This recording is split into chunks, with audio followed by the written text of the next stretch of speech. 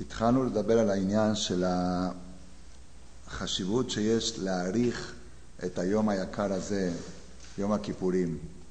לא להתייחס אליו כאל... כמובן שאנחנו מעריכים, כן, אבל יכול להיות שההערכה שלנו גם כן היא מצוות אנשים מלומדה. אה, אמרו לנו שיום כיפור זה יום מיוחד, אבל לנסות להבין מדוע היום הזה הוא מיוחד, מה הוא אומר לי, מה הוא מוסיף לי, סגור את זה שוקי, סגור את הפלאפון. אדם צריך לדבר אל עצמו בשפת עצמו, בדברים שמדברים אל ליבו ואל הגיונו, מדוע היום הזה יקר לי, מדוע היום הזה חשוב לי. תראו, כאן ברבי נונה בשערי תשובה, כשמביא את, ה... את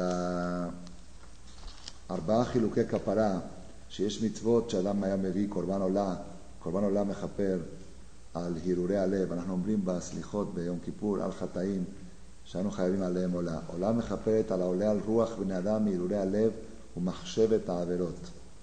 ועתה כי אין לנו קורבנות בעוונותינו, אומר רבנו יונה, בעוונות אבותינו, אם חטא בהרהורי הלב, או שעבר על מצוות עשה. אדם שביטל עש, אדם שלא קרא קריאת שמע בבוקר, קרא מאוחר מהזמן, בזמן שהיה בית המקדש היה מביא קורבן עולה.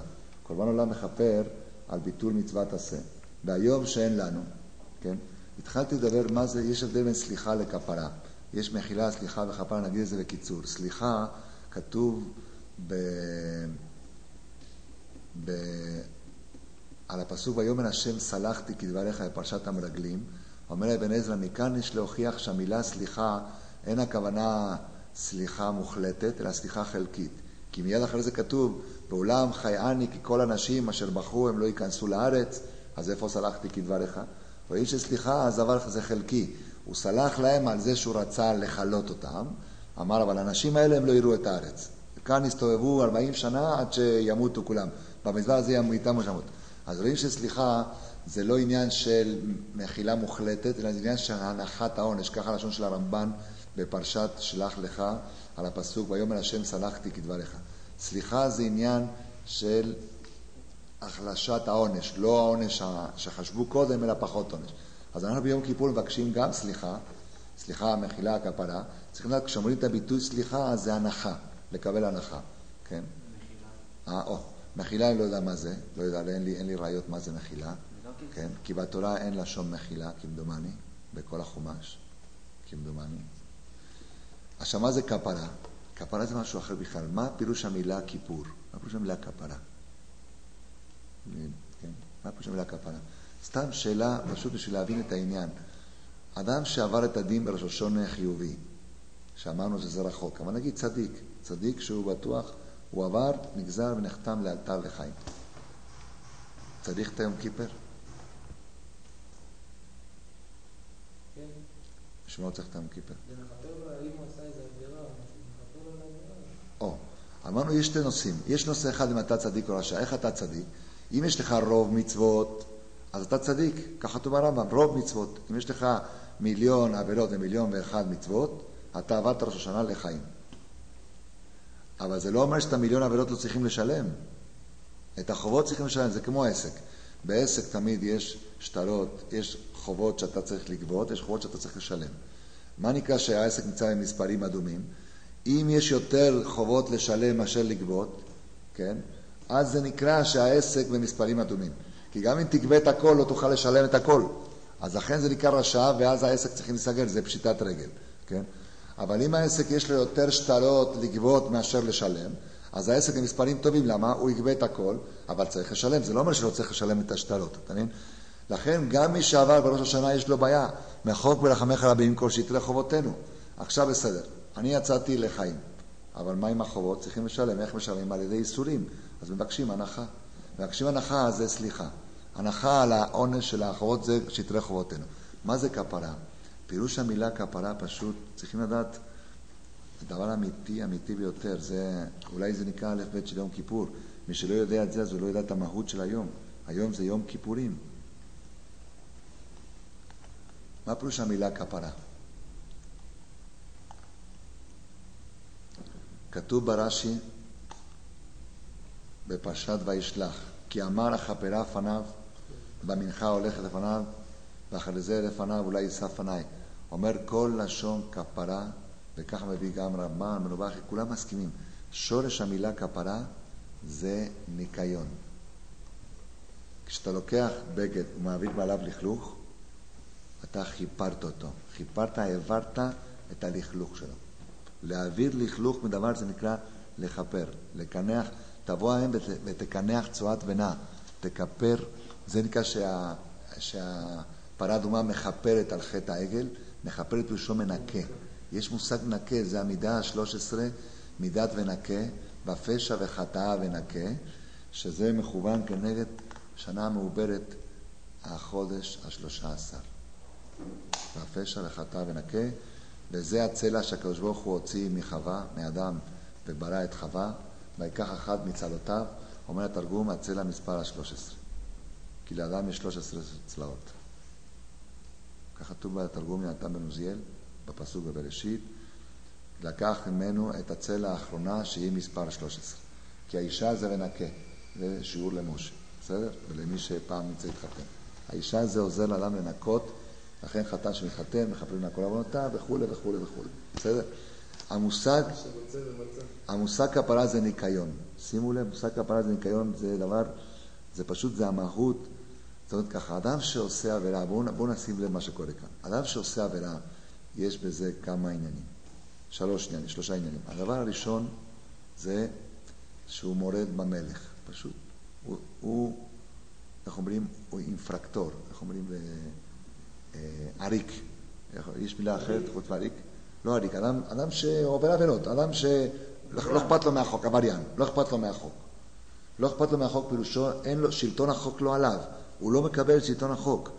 אז זה בא ראש השונה מלכויות. מלכויות פירושו, אני אדם שמקבל את שלטון החוק. אני ממליך אותו עליי פירושו, אני מקבל את החוקים, יש פה מלך, ומה שהוא אומר צריכים לעשות.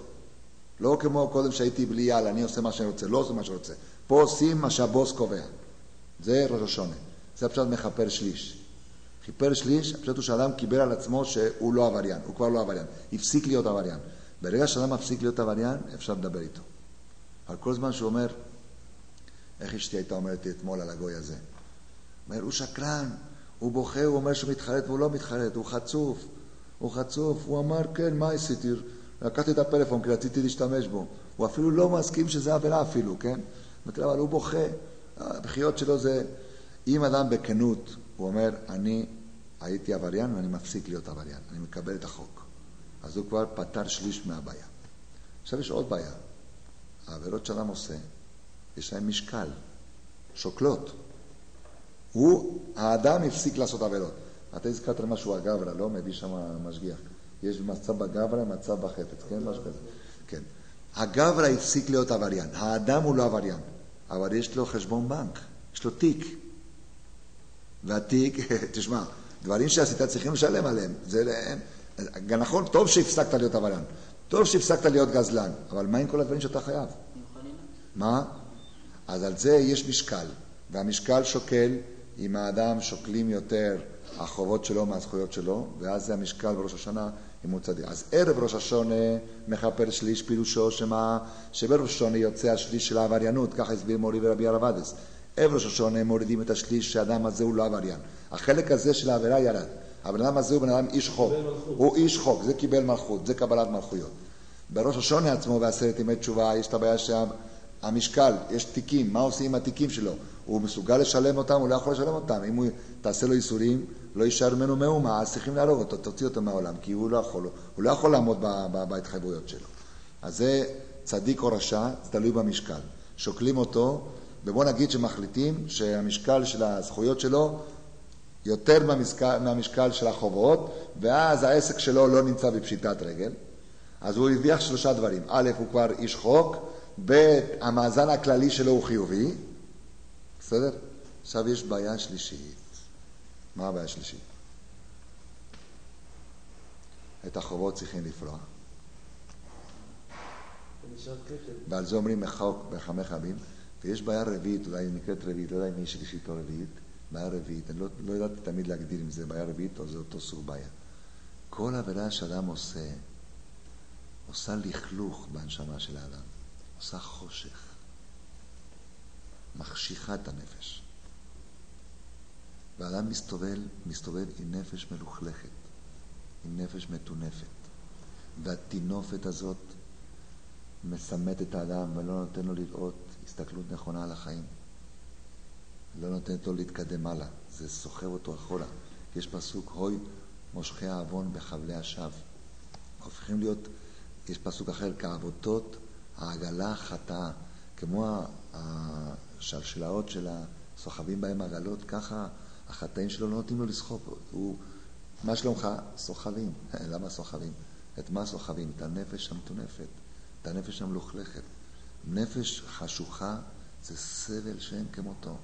זה סבל לגוף ולנפש, לשניהם. כי האדם, נר השם נשמת אדם. הנשמה של האדם זה הנר שיש לו להאיר לו את הדרך, להאיר לו את החיים. אם את זה הוא החשיך, אם את זה הוא טימא ולכלך, אז איבד את ה... הגמרא מביאה משל לאדם שהיה הולך בדרך חשוכה, מלאה פחתים, מלאה אה, תהומות שיכול ליפול בהם. הוא הולך בלילה, ויש בהמות וחיות מכל הצדדים, אין, אז הוא צריך ללכת כל הזמן כדי להינצל. ויש לו נר אחד. אמר לו אותו פיקח, כל זמן שהנר הזה בידך, אתה יכול אה, להמשיך הלאה, תיזהר, אתה יכול להמשיך הלאה. נכבה לך הנר, החשכת את הנר, אין לך סיכוי. בכל נפילה. הבעיה היא שהנשמה שלנו זה האור, לדוד השם אורי, זה ראש השנה, והאור הזה נחשך והתלכלך על ידי החטאים, וכאן האדם נמצא בבעיה.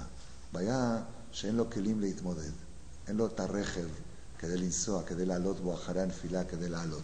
למה? כי הרכב שלו, יש סתימות שם, במנוע יש סתימות, הדלק לא עובר. יש לו בעיות, כן? אני אמרתי פעם, משל, יותר ילדותי, אבל כל אחד צריך לחפש לעצמו משלים, כי המשלים זה, החפץ חיים עשה משל, שלמה המלך עשה משלה, וכתוב שחוץ מהמשלה היה לו עוד ארבעת אלפים משלים, שגנזו אותם. תמיד הגדולים חיפשו משלים כדי פשוט להכניס את הדברים, לקרוא אותם לליבנו. בואו נחשוב, דוגמה, אני מביא דוגמה, משל שעצמי ככה עלה בדעתי כמה פעמים, וזה מדבר לליבי. אחד שיש לו ילדים בבית יודע את זה. נגיד שיש חתונה חשובה בבית, במשפחה, כן? אחד מהאחים מתחתן.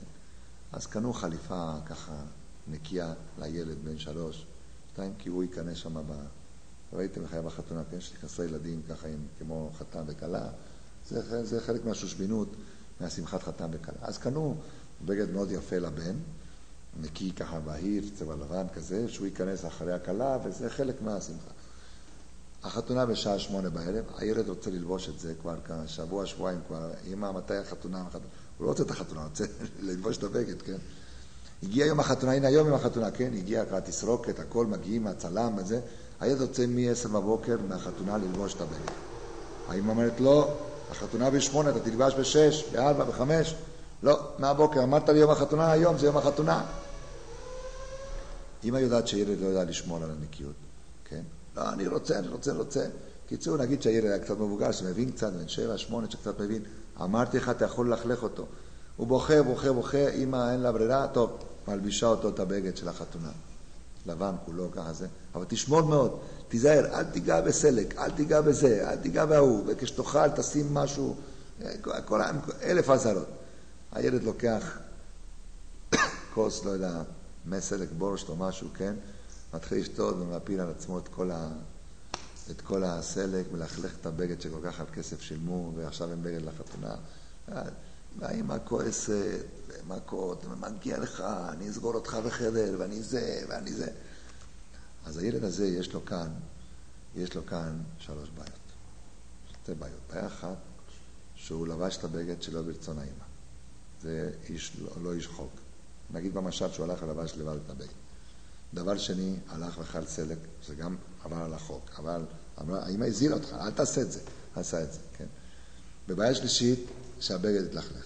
אז קודם כל, הבעיה הכי גדולה שלו זה שהאימא לא תהיה כל כך עצבנית, כן? כי, כי, כי אימא עצבנית אה, יכולים גם לקבל סטילות ומכות ודברים. אז הוא שולח מישהו שיפייס את האימא, תגיד לאימא שזה, שהיא תמיד מתחרט וזה, ומתחיל לבכות וזה.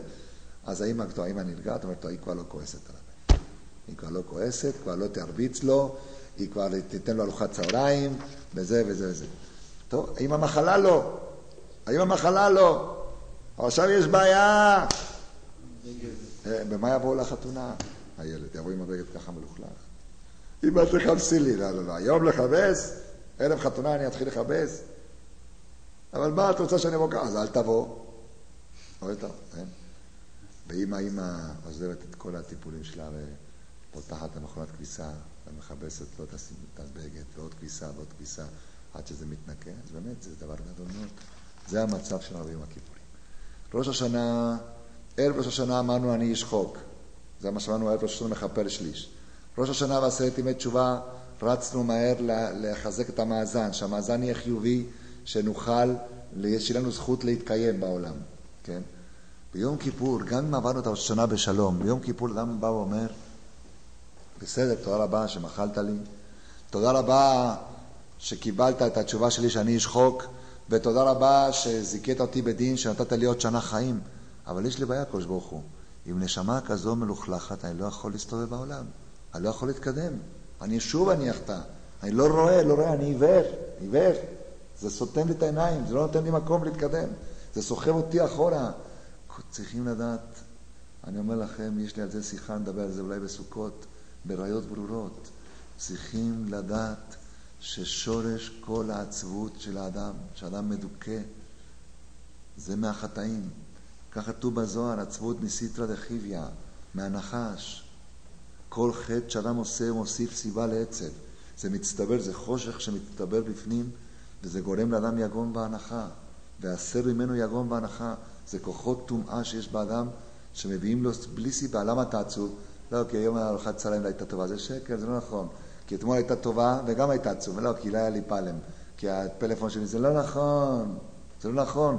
האדם פשוט מנסה להסביר לעצמו, הוא לא מבין למה אני עצוב. הכל בסדר. אז כנראה בגלל שארוחת צהריים לא הייתה טובה. כנראה. או כנראה בגלל שהפלאפון ככה, או כנראה בגלל שזה. זה ההסברים שהוא מנסה לתרץ את עצמו למה הוא עצוב, כי הוא לא יכול להסביר את עצמו. אבל התורה יש לה הסבר ברור. אתה עצוב כי יש לך טומאה בפנים, יש לך חושך בפנים. אי אפשר להגיע לסוכות זמן שמחתנו בלי לעבור את היום כיפור. אז אתה בא עם הכיפור ואומר לקדוש ברוך הוא, טוב, מחלת לי, סלחת לי, נתת לי עוד שנה חיים, מה זה שווה? אם אני לא יכול לשמוח בחיים האלה, כי יש לי מלא חטאים. אז אני צריך ניקוי יבש לנשמה שלי. אתה יכול לעשות לי ניקוי יבש? למה זה יבש? למה זה ניקוי יבש? כי לא אוכלים כלום, כן, יבש, יבש. איך אמר דוד המלך? יבש כחרס כוחי ולשוני מחמת הצום, ברכי כשלו מצום ושדי כחש משמן. אנחנו בראש השונה נכנסים, ביום כיפור נכנסים לניקוי יבש. נכנסים 24 שעות, שעות לאיזה מכבסה שאין כמותה, שאין כמותה. אין לכם ציור מה הנושא, אין לכם ציור מה הנושא. מה ההבדל שיש בין ערב יום כיפור למצע יום כיפור, אם האדם מנצל את זה, פשוט זה הופך להיות מחוש, מחשיכה לאור גדול. אדם בן אדם אחר, הוא יוצא לחיים ורואה את הכל אחרת. מי שקצת הרגיש את זה פעם, הוא מרגיש מוצא יום כיפור איזו הקלה מסוימת, איזו, איזו, איזו נחת כזאת, איזה דבר שקשה להסביר את זה. אני, יש לי, זה סכנה, אחרי יום כיפור מרגישים כל כך טוב, שאדם סומך על עצמו. אני כל כך מרגישים טוב. אדם, אני מוצא יום כיפור למחרת, אני אומר, אני זהו, אני כבר לא אחטא עוד. לא ייתכן שאני, לא ייתכן. אני כל כך מרגיש טוב בלי חטאים, וכל כך זה, ואני קם בבוקר לתפילה, אומר, זהו, זהו, לא צריכים כבר ללמוד מוסר וחשבון נפש, זה, הכל ברור, הכל ברור. אבל זה טעות, זה טעות, זה מה שקרה לעם ישראל אחרי בלעם הרשע. אמר להם, מה טובו עליך יעקב, טובו עליך כל, שיבח אותם. אמרו, כל כך בסדר, ויח לעם לשנות אל בנות מואב. כתוב מדרש, שהאמינו, האמינו לכל מה שאמר בלעם. האמינו זה טוב, הרגישו יותר מדי טוב. אחרי יום כיפור זו הזדמנות נפלאה, אבל עכשיו, לפני יום כיפור, צריך לדעת מה, איזה יום עומד לפנינו. עומד יום שיכול למחוק את הלכלוך של הנשמה שלך. יכול להוריד בניקוי יבש ולהשאיר נשמה שנתת בי טהורה, כיום שניתנה לאדם. ברוך אתה בבואך וברוך אתה בצאתך, שתהיה יציאתך מן העולם בלא חטא, כמו כניסתך לעולם בלא חטא. אתם יודעים מה זה לקבל נשמה של תינוק? לקבל נשמה של ילד? כמה הייתם רוצים להיות עם השכל שלכם עכשיו, עם הנשמה כמו שנולדתם? זה לא היה כיף? אין לכם מושג איזה כיף זה, זה, זה פשוט אי אפשר לתאר את זה. זו ההזדמנות. וכל אחד יקבל כיבוס ביום כיפור. זה המושג כפרה, המושג כיפור זה כיבוס. תתרגמו את המילה, הזאת, שניהם מתחילים עם כף. זה כביסה, זה מכבסה. את הכבש אחד תעשה בבוקר, ואת הכרס השני תעשה בין הארבעים, למה נקראו שמם כבשים שמחפשים עוונותיהם של ישראל? או יש גורסים שכובשים עוונותיהם של ישראל. כובש עוונות, הנה עכשיו דבר חדש בשביל השנה. אומרים הרבה פעמים, כובש עוונות, לובש צדקות. כובש עוונות זה כובש עוונות. מכבס את הכתם שעושים העוונות. ואז אדם עם נשמה מכובסת, אה, או-הו, או-הו. תנסו ללמוד סוגיה. בוולוז'ין היה מנהג, נוצר יום כיפר ללמוד סוגיה בעיון. אה, זה לימוד אחר לגמרי. אחרי הסעודה היו הולכים לאכול משהו, חוזרים ללמוד סוגיה בעיון. היה מנהג. כאן בישיבה נהגנו את זה כמה שנים, בשנים האחרונות לא היה לי כוח. היה סדר אחרי, אנשים היו אוכלים משהו, בלבטים הם יושבים ללמוד, רבע שעה אחריה, יושבים רבע שעה ללמוד, לא יותר. פשוט הנפש, אנחנו כאן בבית הכנסת התמחינו במצב שאנשים יושבים מוצאי יום כיפור ולא רוצים לקום מהכיסא, ככה יושבים. מה קרה? נעים לי, נעים לי. זהו, זה מה שאדם מחפש כל החיים, אדם לא יודע. יש ב... בספר יסוד ושורש העבודה, הוא כותב שבשעה שאדם נמצא ביום הכיפורים, אחרי הצהריים, והוא רוצה לדעת מה הדין שלו. מעניין, היה מעניין אותי לדעת מה הדין שלי כדי שאדע אם עדיין יש מה לעשות, צריכים משהו לעשות עוד. הרי סיפרתי לכם של ניסים יגן עליו השלום, אבא של רבי יעקב. הוא אמר, ב... כשהיה חולה כבר בחודש אלול, אמר שיחה, אמר לי, ביום כיפור שעבר הייתי יודע מה מצפה לי, הייתי עוצר את השמש, לא הייתי נותן לשקוע. הייתי אומר לקדוש ברוך הוא, עד שאתה לא מוחל לי ומשנה את הדין, לא, השמש לא שוקעת, זה ביטוי. אז אדם נמצא אחרי הצהריים של יום כיפור, לקראת הסיום, והוא רוצה לדעת, בכל זאת, כדאי לעצור את השמש או לא? כן, כן, זאת אומרת, אם היה לי אופציה, כן, או הפוך, אה, כן, איך הוא יכול לדעת מה, מה הדין שלו, מה המצב שלו למעלה? אם הדין כבר בסדר, אז יאללה, שיגמר. אם הדין כבר בסדר, זהו. אבל לא בסדר, רוצה לעשות עוד משהו. לקבל עוד קבלה, להבטיח עוד הבטחה, לעשות עוד הילול תשובה. לזעוק עוד זעקה, לבכות עוד דמעה. אומר יסוד השורש העבודה, אני אתן לך את הסימן. אם אתה נמצא במוצא יום הכיפורים קרוב לשעת נעילה, ואתה אומר חבל, חבל שהיום הזה הולך להיגמר, חבל יום כזה טוב שהולך להיגמר, יום כזה של קרבה לת השם יתברך, סימן שכבר נכתבת לחיים טובים ושלום. אתה יכול להיות בטוח כבר. בשבילך יכול להיגמר באמת. ואם אתה מחכה כל רגע מתי יתקעו בשופר, אז זה סימן שגם הוא אולי מחכה שכבר תלך, הוא כבר עייף לשמוע אותך, לא רוצה לשמוע אותך. זה אחד מהסימנים שנותן, ה... שנותן היסוד של ראש העבודה. לכן אומר, זה הכל בגלל המלצות שאדם לא יודע איזה יום זה. אדם שיודע שכל השמחה שלו בשנה תלויה ברגעים ההם של יום הכיפורים. כל דקה של יום כיפור אתה זורע שמחה לכל השנה. אתה זורע פרנסה, אתה זורע צדקות, אתה זורע סייעתא דשמיא, אתה זורע הבנה בלימוד, אתה זורע אור, אור, אתה צריך אור, יש חושך לאדם, החושך זה עבירות. וכל אחד יזכה להוריד את החושך לפי ההתאמצות שלו, זה לא שווה כולם אותו דבר. אתה מכניס עשר בגדים לניקוי יבש, אחד יוצא מצוחצח, אחד יוצא פחות. למה? כי ההוא הכתם שלו היה יותר חזק, צריך להכניס אותו פעם שנייה. לא כולם יוצאים מהמכונת, מהניקוי יבש אותו, באותו דרגה של לובן. אם יהיו חטאיכם כשנים כשלג ילבינו. לכן אני אומר, צריכים להעריך, להעריך את הימים האלו. אומר כאן רבנו יונה בשערי תשובה, ועתה כי אין לנו קורבנות בעוונותינו ובעוונות אבותינו. אם חטא בהרהורי הלב או שבר על מצוות עשה, מה יעשה? יקרא פרשת עולה אשר בתחילת סבב ויקרא ובתחילת סבב צו, כי מקרא פרשת הקורבן יהיה במקום הקרבת הקורבן. כל העוסק פרשת עולה, ואם עבר אדם על מצוות לא תעשה, עבר עבירה ודיבר לשון הרע למשל, או איזה עבירה, ועשה תשובה, אין לו ברירה. ידאג לעוונו, ידאג לעוונו, אין לו קורבן, אין קורבן חטאת היום, ושוגג אפילו. מה יעשה? ויחשוף ויחכה להגיע ליום הכיפורים. כל השנה ירשום, כתוב שרבי ישמעאל קרא ואיתה בשבת, עשה חילול שבת בשוגג, הוא רשם בפתק, בפנקס שלו, כן, נתן כסף, שם כסף, ככה הדין, צריך לשים את הכסף שעולה קורבן חטאת במעטפה, וכתב, לכשייבנה בית המקדש, אביא חטאת שמנה. הוא היה מחכה, לו עוד סיבה לחכות לבניין בית המקדש, כדי לכפר על אותו שבת. הוא אומר, יחשוף ליום הכיפורים, למען יתרצה להשם יתברך. למה? כי רצונו, אם אתה תתרצה אליו, חיי הנפש והגוף, כמו שנאמר, חיים ברצונו. אם אתה מצליח שהקדוש ברוך הוא מתרצה לך, אז יש חיים אוטומטית. והקרם ברוך בתום זכרם לברכה, כל הקובע סעודה בערב יום הכיפורים, כאילו נצטווה להתענות תשיעי ועשירי והתענה בהם. למה? למה נחשב שהתענה יומיים? תשמעו את הפעילות של רבנו יינה.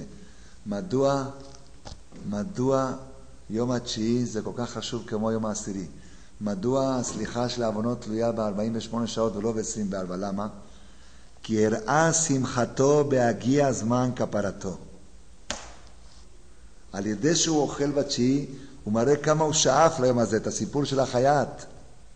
הסיפור של החייט שמוכן לשלם 12,200 דולר על דג, מכל כך שהוא שמח שהגיע היום הזה, זה היום של, שהחנות יוצא מפשיטת רגל. ותהיה לו לעדה, ותהיה לו לעדה על דאגתו. זה שהוא שמח בתשיעי, זה מראה כמה היה דואג קודם על העבירות שלו, כמה הוא הדגיש שהנשמה שלו מלוכלכת. כי מי שלא מרגיש את זה, אז הוא לא שמח, כמונו. רובן, רובנו אומרים, טוב, זה... אני דואג, אני דואג על, על העונש, כן, שלא, שלא ייתנו לי מוות, אבל שאני אדאג על, על, על הלכלוך שיש לי בעבירות. בזה שהוא שמח בתשיעי, הוא מראה כמה הוא דואג על החטא, כן, ויגונותיו, וזה עצמו כאילו התענה. הכוח של התשיעי זה מראה שאדם שמח על העשירי, והשמחה על העשירי מראה כמה שהוא דואג על עבירותיו, כמה שמפריע לו מצב של חטא. והשנית, טעם שני, כי בשאר ימים טובים אנחנו קובעים סעודה לשמחת המצווה, כי יגדל וישגה מאוד שכר השמחה למצוות. כל הימים טובים עושים סעודת מצווה, סעודת שמחה, כי יגדל וישגה מאוד שכר השמחה למצוות. כמו שכתוב תחת אשר לא עבדת השם עצמך, ומפני שהצום ביום הכיפורים, ואז אי אפשר לעשות סעודת יום טוב, נתחייבנו לקבוע סעודה על שמחת המצווה בערב יום הכיפורים. והטעם השלישי, למען נחזק להרבות תפילה ותחנונים ביום הכיפורים, שיהיה לנו כוח פיזי, כן, ולהשית את סוד שלנו. התשובה, שלוש טעמים הביא רבנו יוינה על המצווה הזאת של לאכול בתשיעי. טעם אחד, כי הראה שמחתו בהגיע זמן כפרתו, ושמחתו מוכיח כמה הוא היה עצוב על המצב של החטא שלו, וזה עצמו מכפר. טעם שני, כי זה סעודת מצווה, סעודת יום טוב, וטעם שלישי, כי אדם צריך כוחות כדי לצום. אני רוצה בעיקר, בעיקר להדגיש בחלק הזה של השיחה שדיברנו היום, את הטעם הראשון שלו, כן? צריכים אנחנו לדעת בעצמנו מה היום הזה, מה היום הזה של יום הכיפורים. יום הכיפורים אצל הרבה אנשים זה יום מפחיד, זה יום מפחיד. באמת כתוב יום אדיר בימי שנה, וזה קצת, זה קצת מפחיד, כי באמת באותו יום נחתם החתימה הסופית, זה נכון, אבל זה החלק השולי של היום הכיפורים.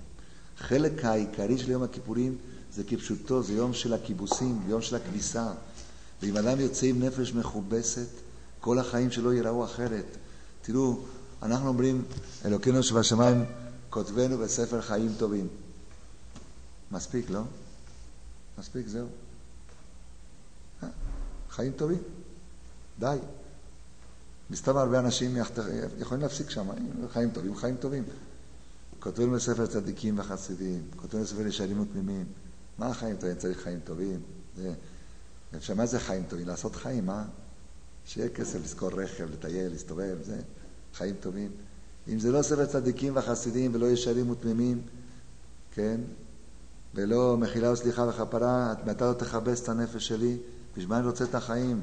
לחיות עם נשמה כזו מלוכלכת זה חיים, עם כזה חושך. יש אנשים עיוורים, רחמנא ליצלן, שמעדיפים טוב מאוד, אילולא שהיה איסור להתאבד, היו מתאבדים. למה? סומך חשוב כמת. סומך חשוב כמת. פוקח עיוורים, הכל בחזקת צום ממהם. מי עיוור כי אם עבדי? אדם על ידי חטאים הוא מסמא את העיניים שלו, והוא מסתובב כמו סומה בחיים, תשת חושך ויהי לילה, זה העולם הזה שדומה ללילה.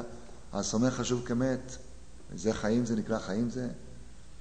אבל בשעה שאתה מקבל כותבנו בספר צדיקים והחסידים, מה הקדוש ברוך אומר? הרשמה פתוחה. מה זה כותבנו? אחד אומר, תכתוב אותי חבר במועדון ההוא. הרשמה פתוחה, לך תיכתב. הקדוש ברוך הוא פתח, ספרים נפתחים, הרשמה פתוחה. אתה רוצה ספר חסידים, תכתוב אתה. טוב, אני רוצה, אני נרשם בספר צדיקים, אני צדיק, אני חסיד. אמר רב אדס בשיחה פעם בחול המועד סוכות, הוא אמר, אולי שנה הבאה כשנגיד ובכן צדיקים יראו וישמחו נוכל לכוון גם על עצמנו. על מי אתם מכוונים צדיקים יראו וישמחו? חיים קניאבסקי, זה? אולי אני אוכל להגיד, ובכן צדיקים יראו וישמחו אני, וישרים יעלוזו והחסידים ברינה יגידו, אני צדיקים, אני חסידים, אני ישרים. שנוכל לכוון גם על עצמנו. אמר, לא, לא, לא, זה צדיקים, זה, זה, זה, כן? כותבנו בספר צדיקים וחסידים, שנהיה צדיקים, שנהיה חסידים, שנהיה ישרים, שנהיה תמימים. לכן אומר, זה היום האדיר הזה.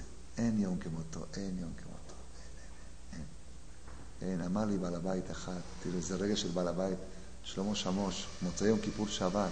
הוא ניגש אליי, הוא אמר לי, יום כיפור כזה כמו שעברנו כאן, אני מוכן לעשות פעם בחודש. שהקדוש ברוך הוא ייתן לנו יום הכיפורים פעם בחודש. רבי רוחם ליבוביץ', משגיח דמיל, אמר, ריבונו של עולם, תן לי עוד עשרה יום כיפור, ואני הופך להיות מלאך. הוא הרגיש איזה ניקיון היה משיג ביום הכיפורים. איזה ניקיון היה משיג. לכן אני אומר, כל העניין של היום כיפור זה מילה אחת, נקיות. נקיות. נקיות להתנקות. אנחנו באים, נכנסים לניקוי יבש, להתנקות. אני רוצה לקרוא, לקרוא בפניכם דבר כדי לסגור את המעגל של השיחה של היום. כי הבטחתי לכם לדבר על זה ולא רוצה להיכשל במבטיח ולא מקיים. הכלל העולה ככה, תראו, החלק הראשון של מישהו יכול לסכם, היום דיברנו שלוש שעות. החלק הראשון דיברנו על... אה?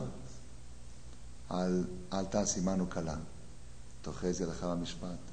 על החיוב שיש לנו לברר את פירושי התפילה ולהבין מה מבקשים. בבוא תוכחה נגדך יש מושג שנקרא תוכחה, שהקדוש ברוך הוא יש לו מלאכים ש... שמנו מספרך על תמח. יש אנשים שנמחקו מהספר השנה שעברה. אשתך לך הכל מוסר לחמך יקדמו לבזיך. דלות מעשים, יש מעשים דלים. שקרב צדק מלך. הורינו, למדנו מה זה הורינו, זעקנו לך. דיברנו על העניין שהאם כדאי לנו שיבוא המשיח או לא כדאי לנו, את התוכנית, שאם אדם נמצא בקצב של עלייה שיטתית, אז כשיבוא המשיח ישימו אותו איפה שהיה מגיע ב-120 שנה, לא בדרגה שלו היום, אבל אם העלייה היא שיטתית, אז להחליט ביום כיפור הזה שאנחנו נכנסים לקצב עלייה שיטתי, כדי שאם יתגלה מלכותו יתברך במוצאי יום הכיפורים, אז אנחנו כבר נהיה בדרגה איפה שאנחנו כבר שואפים להגיע, לא איפה שאנחנו נמצאים היום. כן? אני רוצה לקרוא לכם דבר כדי לסגור את המעגל של מה שדיברנו.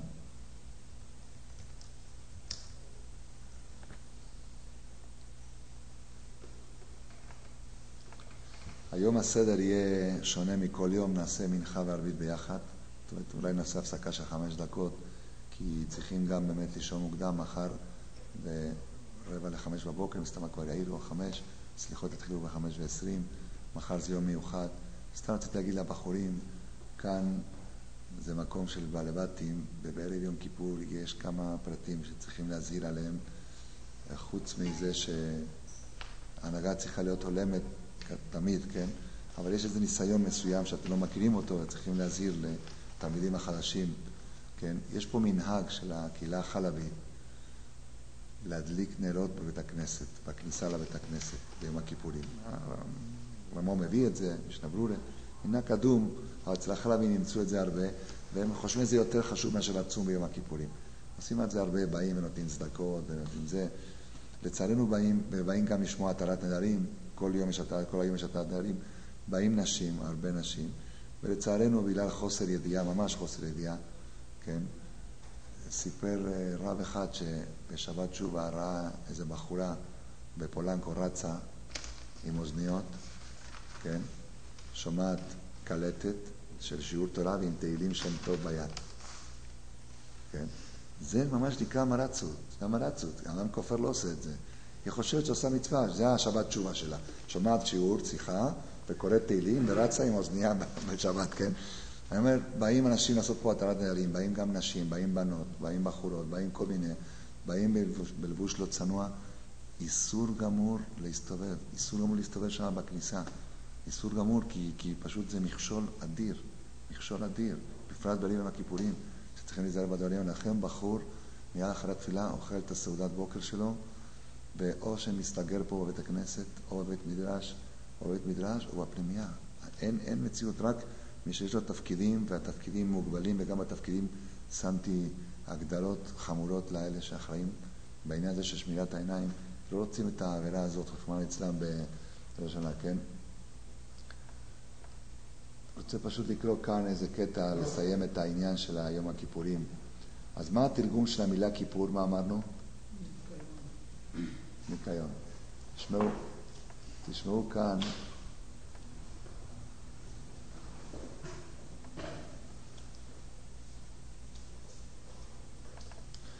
מה שכתוב בשלה הקדוש, העליתי זה פעם גם כאן למשגיח, לקבוצה אחרת של בחורים, אבל כאן אני רוצה לקשר את זה עם יום הכיפורים. כתוב ככה, גם ייזהר בכבוד מלבושיו, השלה הקדוש, שאר האותיות עוד ד', גם ייזהר בכבוד מלבושיו, וילבוש מלבוש נאה ונקי. ואסור לו, לא על כיפור, רגיל, ואסור לו שימצא בבגדו כתם או שמנונית וכיוצא בהם.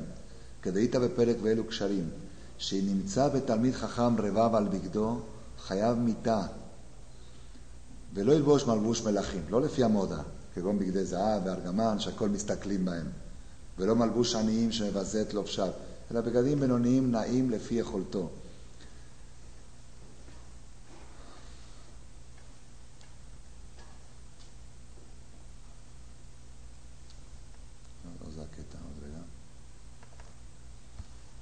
כן, באות ט', טהרה.